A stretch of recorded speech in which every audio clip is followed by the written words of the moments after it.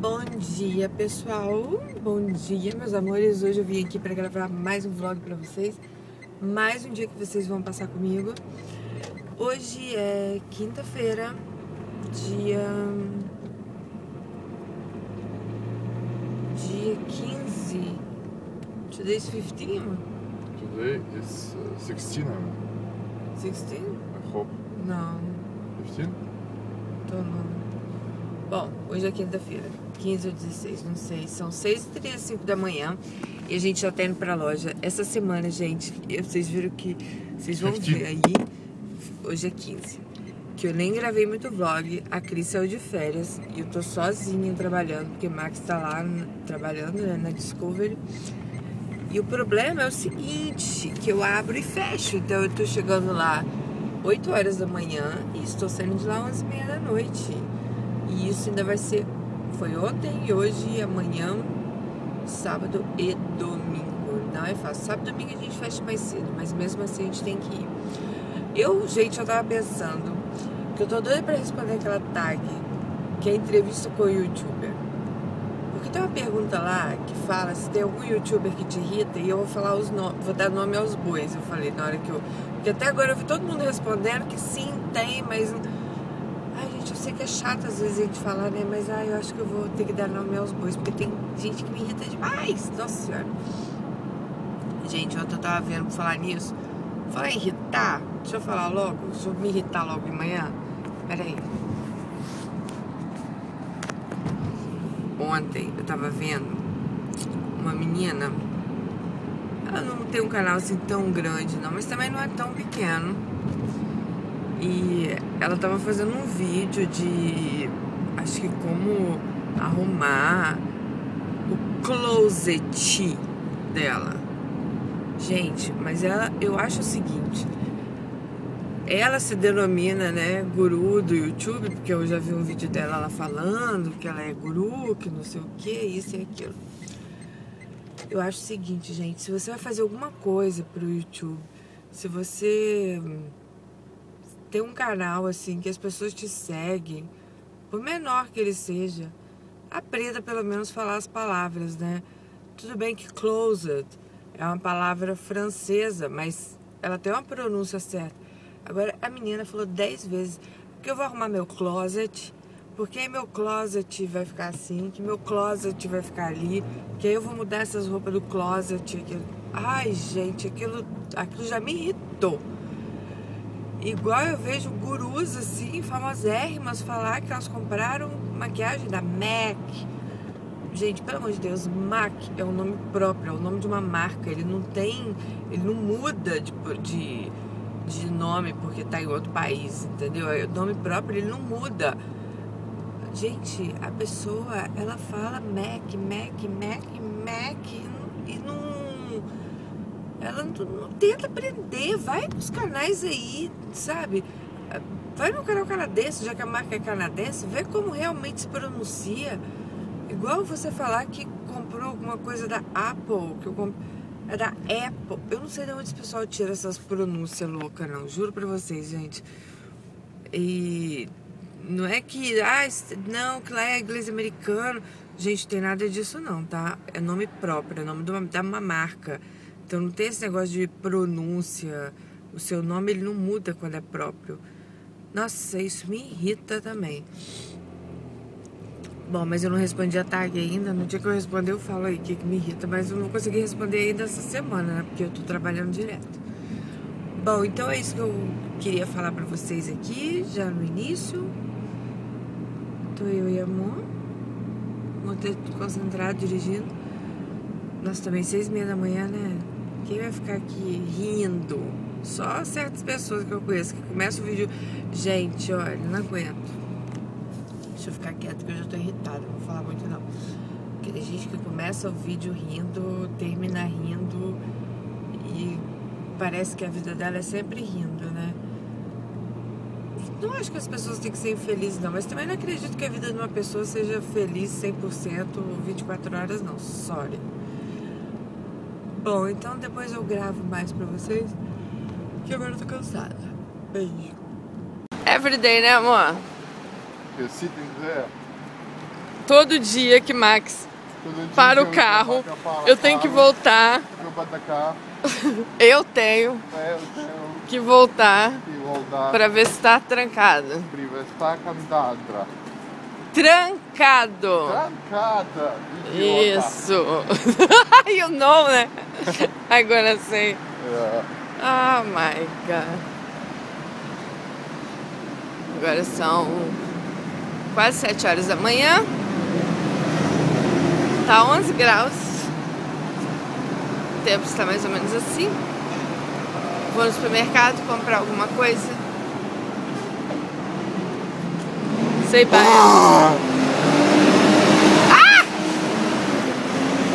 Screamo! A gente tá aqui ó, na frente do supermercado, mas tá fechado ainda. E a moto ali. I need to block in Russian, yeah? E amor? Why you don't do? I don't know, I'm shy, I don't know what you say. Eu do vlog em português. Amor, stop it. Pra vocês. Eu não sei se é uma lenda, eu não sei se é um mito. O que eu sei é que eu acho que, que tem muita gente que vem pra fora e pensa assim, na hora que eu atravessar a rua, eu não vou olhar se o sinal tá aberto, não. Eu vou lá botar meu pé que os carros vão parar. Gente, o que eu vejo de gente quase ser atropelada na rua, principalmente brasileiros, nessa área aqui de Gloucester Road, que aqui vem muito turista brasileiro, né, que tem muito hotel. Gente, é inacreditável. Agora mesmo, são sete e meia da manhã, tinha dois turistas brasileiros com mala. Eles foram atravessar a rua, nem olharam, o táxi quase pegou eles. Eu não sei se esse pessoal vem pra cá e pensa assim, não, eu vou colocar o pé na, na rua, os carros vão parar pra mim. Gente, não é assim. Não é assim. Aqui tem sinal de trânsito igual no Brasil. Aqui tem certos lugares que tem a, a zebra que eles chamam, que realmente você é obrigado a parar pro pedestre, pro pedestre atravessar. Mas até nisso aí eu fico com o pé atrás. Eu vou falar pra vocês por quê. A Inglaterra, gente, ela é um país que o trânsito é o contrário e se dirige do lado direito. Só que o trânsito também é o contrário. E muitos europeus, muita gente de fora vem pra cá, aluga carro, não sabe nem dirigir aqui. Então, assim, vocês têm que tomar muito cuidado, porque aqui tem muito turista, muita gente que nunca dirigiu do lado direito, entendeu? Que realmente se confunde e, sabe, por uma dessa aí, eu já tive uma amiga minha que ficou, foi atropelada. Ela ficou, acho que seis meses em tratamento, que ela quebrou a clavícula, teve que ficar sem trabalhar. Nessa época ela estava ilegal aqui, ela teve um problemão do mundo, porque ela teve que ainda pagar o tratamento dela. Então, olha, gente, tomem muito cuidado na hora de atravessar a rua aqui. Tipo assim, não vai enfiando o pé e atravessando, não. Olha se vem carro, vai no sinal, procura ver se você tem que olhar para o lado direito ou esquerdo, porque isso é muito importante, tá, gente? O trânsito aqui também é o contrário. Olha, eu quando eu vim para Inglaterra, eu já dirigia desde os 14 anos. Eu aprendi a dirigir com 14 anos. Não dirigia em rua aí, mas com 14 anos eu já sabia dirigir lá na fazenda da minha madraça. Eu aprendi a dirigir e já dirigia desde 14 anos. Com 18 eu já tinha meu carro tal, ia para cima e para baixo, viajava, fazia de tudo. Quando eu cheguei aqui na Inglaterra, gente, porque, claro, você mora no centro, é metrô, ônibus, metrô, ônibus, fiquei muito tempo sem dirigir.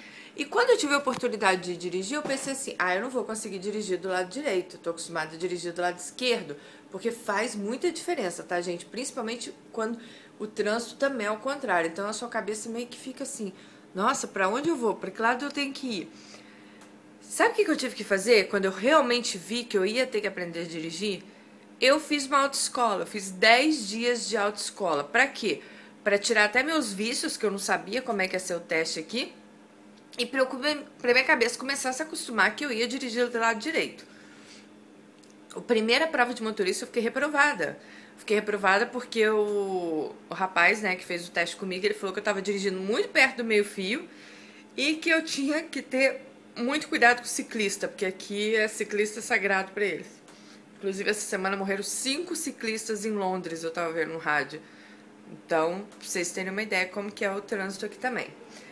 Então, gente, muito cuidado. Eu tive que fazer é, autoescola, eu tive que fazer, sabe? Eu fui lá, tentei. Então você meio que aprende a dirigir aqui. Agora, muita gente que vem de fora, às vezes até do Brasil, sua carteira você pode dirigir aqui como turista, só que a pessoa não sabe dirigir, ela não sabe as regras de trânsito aqui, a pessoa não consegue dirigir do lado contrário, então realmente é complicado. Alguém pediu para eu mostrar minha carteira de motorista. Gente, vou tapar só os dados aqui, né? Mas a motorista aqui é esta aqui, ó, gente. A drive license aqui é essa aqui. A, a drive license mesmo, que você faz as provas, porque tem a provisória, que é quando você tira ela até pela, pelo correio só que aí você só pode dirigir com alguém que dirige há mais de dois anos do seu lado, tal, tal, tal. Isso também é um problema aqui, tá, gente? Porque a pessoa nem faz autoescola já pode sair dirigindo, né? Então, assim, essa aqui já é a carteira a permanente. A duração dela, olha aqui. Ela vai de 2011 a 2043. E para mim tirar essa carteira não custou nem 50 libras. A única coisa que eu gastei mais foi a autoescola mesmo, que eu paguei as aulas com o Bislin, um albanês até que me deu aula, porque eu, tá, eu ficava confusa dirigindo do lado direito, minha cabeça não funcionava direito. Bom, gente, mas é isso que eu quero falar pra vocês. Muita atenção, muito cuidado na hora de atravessar a rua aqui. Vocês não vêm doida, aloprada, enfiando o pé na rua, não, que vocês vão acabar sendo atropelados, né? Então é isso, deixa eu arrumar aqui pra abrir, que eu já tô atrasada coisa que eu quero agradecer é o pessoal novo que está chegando no canal. Eu tive quase mil inscritos nesse último mês no canal, só nesse último mês. E, nossa, eu fico super feliz, né? Por tantas pessoas estarem se inscrevendo no canal, estarem acompanhando aí os meus vlogs do dia a dia. E, gente, mas isso me dá um certo medinho, porque o pessoal novo, assim, eu recebo os comentários dos vídeos e eles estão vendo muitos vídeos antigos, né? Vídeos de dois anos atrás, quando eu comecei. Então eu quero dizer para vocês, gente, que esses vídeos de dois anos atrás relevem, tá? Porque era uma época assim que eu nem sabia fazer vídeo direito, continuo não sabendo, mas eu sabia menos ainda do que eu sei hoje. É, muitos vídeos aí a luz nem tava boa, a luz estava amarela. Então, vocês relevem, mas eu não vou deletar nenhum vídeo do canal, vou deixar todos eles aí, porque eu acho que até para eu ver como como foi para mim, sabe? Acho que esses vídeos no YouTube para mim eles, eles são um diário virtual. Eu sempre gostei de fazer diário quando eu era mais nova, sempre tive agenda. E eu acho que eu tenho até hoje guardada lá em casa. E eu adorava, assim, quando passava um, dois anos, pegar, voltar e ler tudo de novo. E o YouTube tem várias, várias coisas da minha vida, várias passagens, assim, da minha vida. Agora com esses vlogs, né, da vida real que eu tô fazendo, que eu mostro, assim, meu dia a dia. Eu sei que um dia vai ser legal eu voltar lá para ver esses vlogs, talvez daqui um, dois anos. De vez em quando eu até volto para ver os meus vlogs mais antigos, quando eu comecei. Então vocês relevem, tá, gente? Muita coisa aí também, às vezes eu devo ter mudado meu pensamento, né? Coisas que eu pensava dois anos atrás, talvez eu não pense mais hoje. Mas eu quero agradecer, assim, ao pessoal que está se inscrevendo no canal. É, graças a Deus ter recebido somente comentários positivos. Negativos são um ou outro, mas que a gente nem dá bola para isso, né? Mais ou menos, nem dá bola para isso, né? Só não vim me ofender. Mas é obrigada a vocês, assim, poxa, fiquei bem, sabe, bem feliz. Eu sei que muito desses mil inscritos eu devo também ao Carlinhos Troll, né, por ele ter feito aquela entrevista. E eu sei que o Carlinhos é, ele acabou é, falando sobre o canal e muitas pessoas que acompanham o Carlinhos acabaram vindo acompanhar o meu canal também. Então agradeço também ao Carlinhos Troll por essa força aí é, que ele deu para mim, essa oportunidade, né? E para as outras pessoas que participaram da entrevista com ele. É, eu sei como isso é importante no YouTube, às vezes um canal grande falar de você porque é, é ali diário, sabe, gente? O YouTube não é uma, uma ferramenta que você pode convidar as pessoas, que você pode até ir no vídeo da pessoa falar, ai, vem conhecer meu canal tal. Mas isso não funciona tanto. A pessoa, ela realmente, para se inscrever no seu canal, ela tem que ter alguma empatia com você, ela tem que gostar de alguma coisa que você faz. Então eu fico muito feliz dessas pessoas terem se inscrito no meu canal. Sejam todos bem-vindos. E os mais de 7 mil inscritos aí que eu tenho no canal, né? Vocês são todos bem-vindos, né? Não importa se chegar agora ou os primeiros que chegaram. Eu lembro quando eu tinha 10, 20, 30 inscritos no canal. Então, realmente, é uma... É, é, o YouTube é uma ferramenta que você vai crescendo pouco a pouco. Claro, quando você tem uma oportunidade dessa, né? De alguém que já tem muitos inscritos, como Carlinhos que fala sobre você, que te dá uma oportunidade igual ele deu pra gente, com certeza isso ajuda, né, gente? Ajuda demais. Mas então que sejam todos muito bem-vindos. Eu espero assim estar, tá, né, dentro da expectativa de vocês. Se vocês tiverem alguma sugestão de vídeo, vocês podem deixar aí alguma coisa que vocês querem ver, tá bom? Então, um beijo para esses mais de 7 mil inscritos que estão aí no canal. Vocês todos são assim, vocês podem não acreditar, vocês podem achar que é clichê, mas vocês são muito importantes para mim, que vocês são como se fossem meus amigos, como se estivesse aqui perto de mim. Então, é isso que eu queria agradecer hoje a vocês que fazem o meu canal, né, cada vez maior, cada vez melhor. E isso me motiva bastante para continuar fazendo bastante vídeo para vocês. 2h42. Vocês não fazem ideia de quanta coisa eu já fiz. Eu tava rindo muito aqui com um post da Cacau, que ela falou que ela entrou numa, ela comprou uma calça numa loja na semana passada e ela foi nessa mesma loja essa semana, só que ela esqueceu de tirar a etiqueta da calça e as vendedoras vieram correndo atrás dela igual as loucas pensando que ela tinha roubado a calça, sendo que ela não ficou nem quatro minutos dentro da loja, né? Cacau de flash, tá trocando. Gente, minha. Ai. Cacau tá trocando roupa aí no meio da loja e ninguém nem viu, mulher é invisível, eu acho.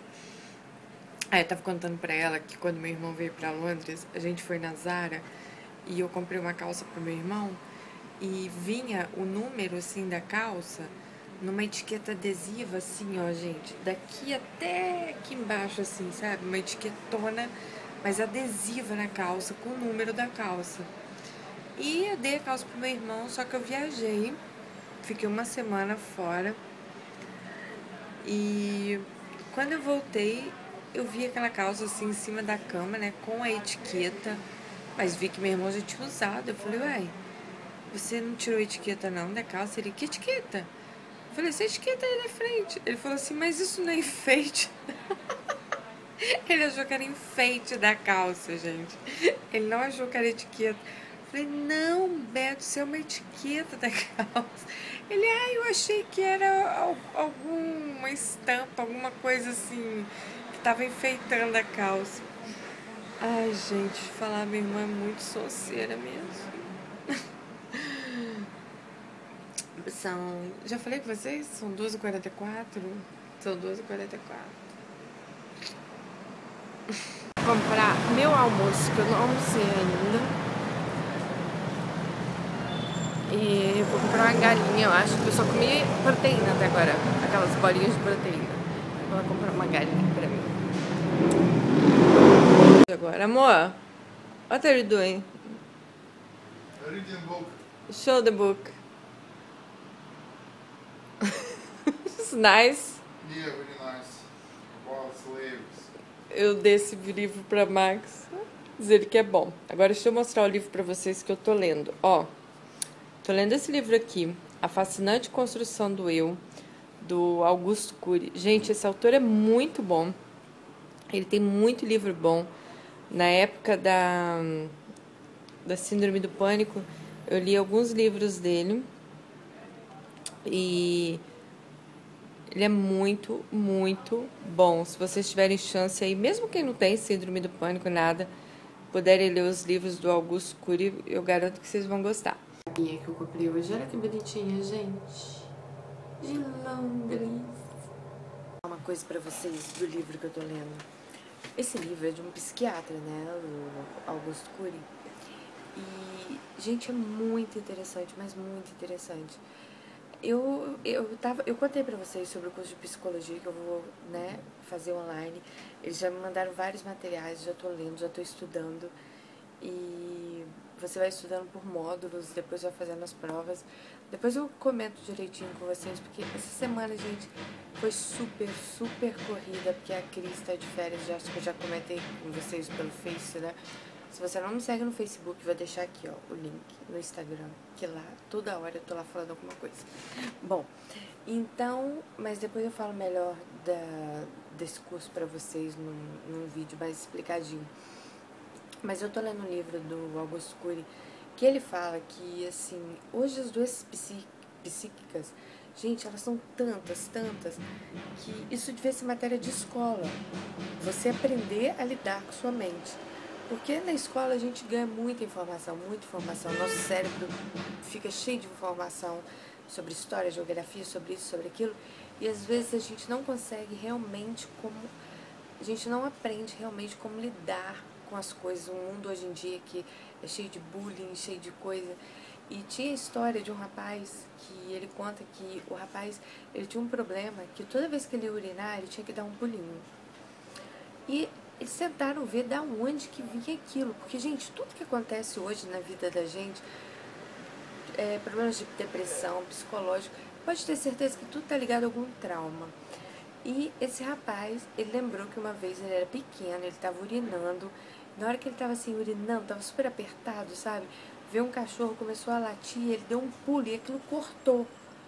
E depois daquilo, ele começou a ter que pular, dar pulinhos toda vez que ele ia urinar. Claro que foi igual ele falou, não é um problema assim que atrapalhou a vida dele, mas do mesmo jeito que teve esse problema, é, muitas pessoas têm problemas quando crianças que as coisas vão aparecendo depois, gente. Olha, eu sei várias histórias de pessoas que hoje já são adultas e que todo problema que elas têm hoje, inclusive eu, talvez seja uma delas, todos os problemas que elas têm hoje vieram da infância são traumas de infância. Então a gente tem que ter muito, muito, muito cuidado, sabe? Ficar muito de olho. Às vezes até uma palavra que a gente fala com o filho da gente. Então, assim, esse livro eu quero falar mais com vocês sobre ele, que é sobre como você você próprio se curar, como você entendeu o seu eu, como você entendeu o que está se passando com você mesmo. Porque é muito importante a gente entender, assim, o que passa com a gente, né, gente? É, é muito, muito interessante mesmo. Tem uma parte, peraí que eu vou pegar para falar com vocês. Uma coisa tão séria com problemas psicológicos hoje em dia que uma pesquisa está aqui no livro dele. Olha só, 27% dos jovens estão apresentando sintomas de depressão. Mais de dois terços deles, 66%, têm sintomas de timidez, 50% das pessoas, cedo ou tarde, elas vão desenvolver algum transtorno psíquico. 90% dos educadores estão com três ou mais sintomas de estresse profissional.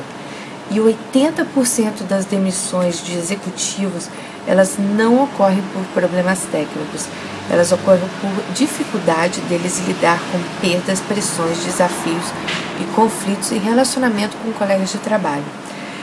E 50% dos pais, eles não dia dialogam com seus filhos sobre eles mesmos.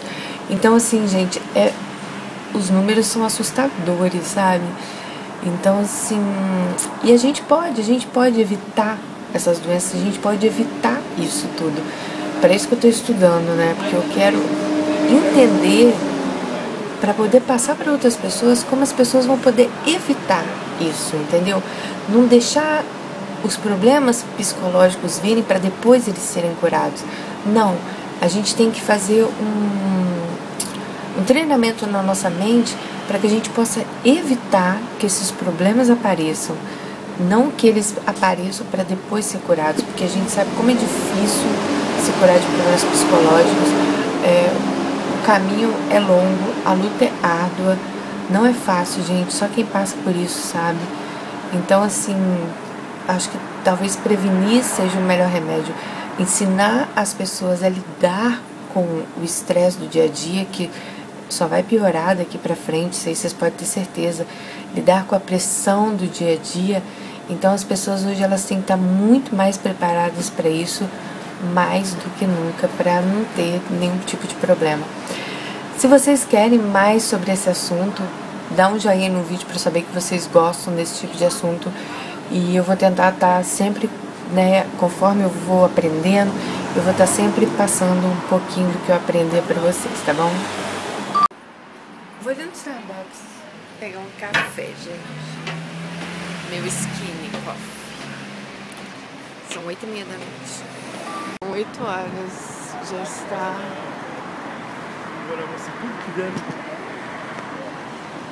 Já está anoitecendo. E eu resolvi mostrar um pouquinho. Gente, aqui ó, muita maquiagem barata. Quem, for, quem vier pra Londres. Ixi, aquela doida ali é cliente lá da loja. Vive bêbada. Vamos lá. Que lindo, ó. O amigo de Marcos comprou. É de colecionador. Essa moeda aqui é de do, duas libras. Essa aqui é de 50 centavos. Ten, né? This one? Yeah. De 10. It's a five. Five? Ah, essa é de 5. Ah. Esta 20. é de 20. Esta é de 1. Um. E esta aqui é de 2 libras. Agora são 11 e 17 da noite. E eu e Max, a gente tá indo pra casa. Gente, tô até sem raciocinar já. Eu trabalhei de... Eu cheguei na loja, era 7 e meia da manhã. Trabalhei até 6 horas da tarde sem parar. Aí Max chegou. Eu fui estudar um pouco. Li um livro.